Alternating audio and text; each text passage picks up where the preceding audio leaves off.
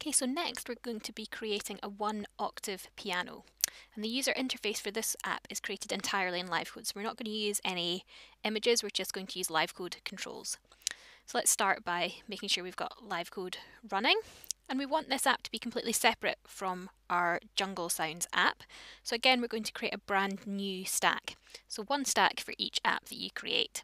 So we go to File, choose new main stack and our new main stack will appear a nice blank stack ready for us to start work with. So the first thing we're going to do is we're going to set the name of our app and we do this with our property inspector. Let's go to the object menu and open up the stack inspector and I'm just going to set the name of mine to piano and the title which will appear in the title bar to piano with a capital P. Now we want to set the size of our stack. Now we'll be making a one octave piano, so we want a rectangular stack that's a bit wider than it is tall. Now in the jungle uh, soundboard, we had a background image that we wanted to use, so we knew exactly how big we wanted our stack to be. But in this case, we can actually just make it roughly the right size, so something like this. So just drag it out using the arrow key at the that appears at the bottom of your stack. And you can make it any size you want, but a piano, one octave piano, nice rectangle, it's a bit wider than it is tall. We're then going to go to size and position, and again we're going to turn off resizable just because we don't want our user to be able to resize the stack.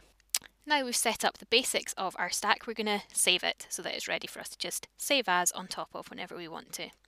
So we'll go to File and choose Save As and I've got a folder on my desktop called Piano Soundboard, just a nice easy place so we'll always remember where it is, nice and easy to find.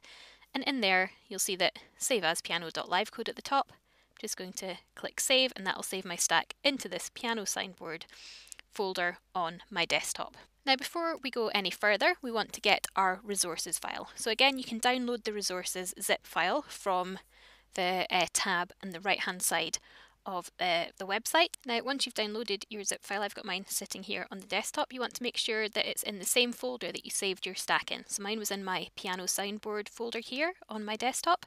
So I've copied that in, you can see there's my piano live code, here's my resources. Now you want to unzip that folder. So you now have a resources folder and in there you should have a sounds folder and there's all your sound files. So have your resources folder next to your piano. Again, this is so that the app can find the sounds later. So your resources folder next to your piano, in there there should be a sounds folder and in there you should have all your sound files. Okay, so that's us all ready to get started working on our UI, which is the next step.